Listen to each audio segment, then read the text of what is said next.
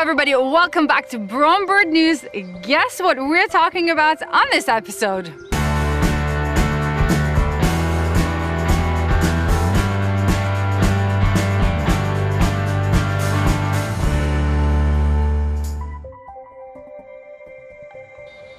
Today I want to talk about a hummingbird nectar, how to make it, how to store it, and then how to serve it.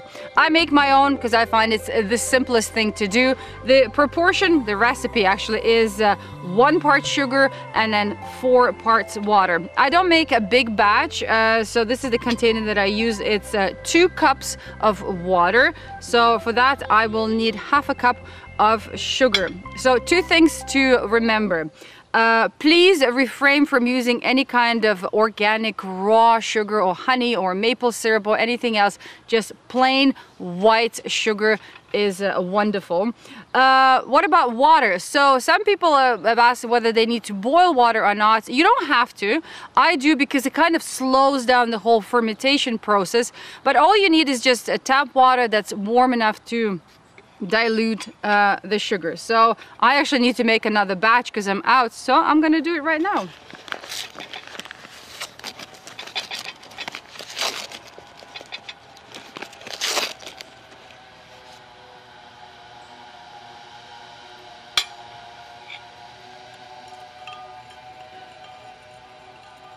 This water is still too hot, so I am not going to serve this right away. I'm gonna let it cool uh, to room temperature. And whatever nectar I don't use right now, I will put in the fridge because that will slow down the fermentation uh, process. Um, another thing that I've learned recently is that hummingbirds are not too crazy about really cold nectar. You see, they have to burn more energy to bring that nectar to their body temperature. So whenever you take your nectar out of the fridge, let it sit on the counter for a while until it reaches, you know, warmer temperature. And then uh, also last week I decided to run a, a post on Facebook to see how often people are changing hummingbird nectar because it's been so hot. And it looks like a lot of people have been changing it daily daily or every other day. So how do you know if your hummingbird nectar is still good or not? It's pretty simple. So you see, this is freshly made. And when you look through it, this is all pretty clear. When this sits outside and it's hot outside, it starts forming these funky clouds inside and the whole thing will look really cloudy. Or even if you don't see anything cloudy inside, but you see bugs and ants floating inside your nectar, it's no longer any good bring your feeder in, uh, wash it and replace it with fresh nectar. Uh, if you want to extend the lifespan of your nectar, there's actually a product I would like to recommend. It's called Hummingbird Feeder Fresh Nectar Defender. We know the scientists who came up with this recipe and it's absolutely brilliant. You just add a little bit to your hummingbird nectar. It's totally safe. It's been approved by all the authorities and your nectar, depending on the temperature outside, will last much longer. Well, I guess that's about it. Um, send me your questions if I haven't covered everything about hummingbird nectar. Lucian Pouliot from Florida is looking for a bird-safe paint to paint his metal bird baths. Hi Lucian. I'm by no means an expert on painting things. But I did a wee bit of research on what paints are safe to use on a metal bird bath. It was a lot more difficult to find an answer than I thought. Now I'm not sure if your particular metal bird bath is covered in rust, but some folks have coated their rusty bird bath with a primer called Fur Prime Rust Converter from a company called Fuze, F-U-Z-E. Apparently it's resin-based and therefore not toxic. It's easy to use and dries to a matte dark gray finish in less than 30 minutes. It also doesn't need a top coat. If you're into spray painting, another alternative is to use non-toxic Krylon brand spray paints and then apply a clear coat spray as the final. According to the cage bird enthusiasts, who are understandably fussy about what paint they use on their metal bird cages, Rust-Oleum paint is apparently safe. To be absolutely certain though, I'd visit your local paint store and ask them what outdoor metal paints are non-toxic and applicable to something that's continually wet.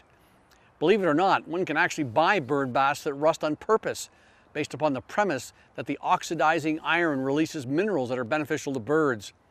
I'm not aware of any studies to prove or disprove that, but I can tell you that drinking reddish brown rusty water will certainly not harm birds in any way. Knowing that there are roughly 11,000 bird species in the world, it would be fun to know just how many birds we have. I'd read years ago in an older edition of an ornithology textbook that there were about 200 billion worldwide. However, a scientific-based estimate done about 24 years ago put the number somewhere between 200 and 400 billion birds. But that was based upon outdated data collection and analytical methods. According to a recently published study based on 9,700 species, the real number is approximately closer to 50 billion birds. The research team working mostly out of the University of New South Wales in Australia used three pools of data to determine the overall count estimate. Specifically, data collected by Partners in Flight, which is a consortium of organizations studying bird migration worldwide, BirdLife International, the world's top bird conservation organization, and a new source of data originating from citizen science, basically volunteer citizens collecting information on wild birds. What was really interesting is that the researchers actually came up with the Billion Club, which consists of four members or species whose earthly numbers exceed 1 billion. They are the house sparrow at 1.6 billion, the Eurasian starling at 1.3, the ring-billed gull at 1.2, and the barn swallow at 1.1. I guess they forgot the lowly chicken at 26 billion. But here is the more important number. 1,180 species have fewer than 5,000 individuals. We need to work harder to reverse that number before we lose those species altogether. Earlier this year, I shared a story about a racing pigeon that's disappeared in the US and then mysteriously ended up in Australia. Well, that story ended up being a fake, but last week's event in the UK, uh, which is now dubbed the worst day in the pigeon racing history, is really true. So last week uh, in the UK, a three-hour pigeon race which had 9,000 pigeons took place in Peterborough. But somehow 5,000 of those pigeons never showed up at the finish line and they haven't yet returned to their roost. They simply disappeared. So pigeon fanciers, scientists, researchers are trying to figure out what happened, but they still don't have an answer.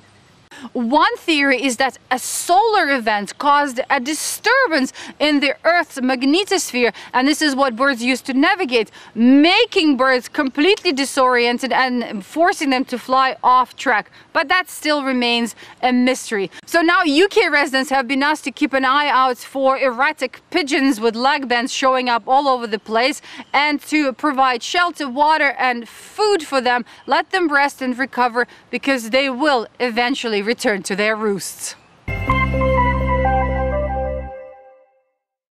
I've talked about murder hornets and the threat they pose as an invasive species, but they're not the only insect that can cause problems for birds.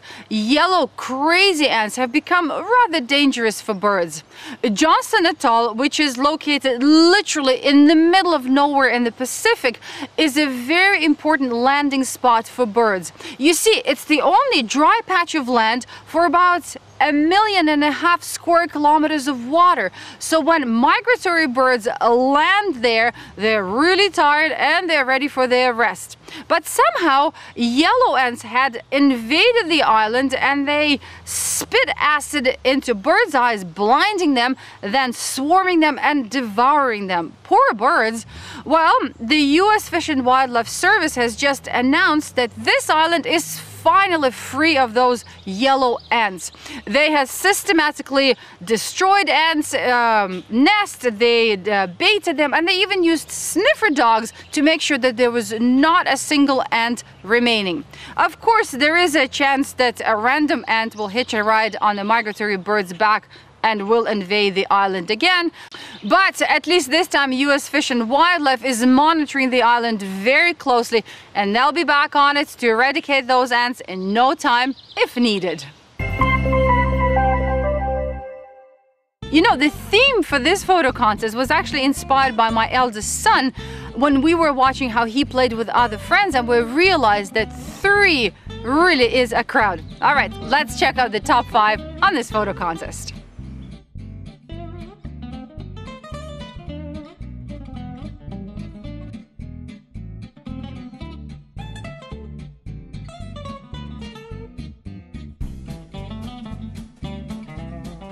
Here's the third place, the second place, and the grand prize winner. Congratulations everybody! August actually has two photo contests. The first one is the tyrant flycatcher family. It's a tough one because there are only a few bird species in that family. So it's kingbirds, flycatchers, pewees, phoebes, and a kiskadee. Good luck everyone! All right, everybody, time to say goodbye. Please let me know if you end up using Nectar Defender and what you think. And you know, our photo contest is not just for people who take pictures and upload them, it's for everyone to enjoy birds, to learn about birds. So come on over, leave your comments if you want to, or just look at all the beautiful pictures. Enjoy your week. I'll see you in two weeks.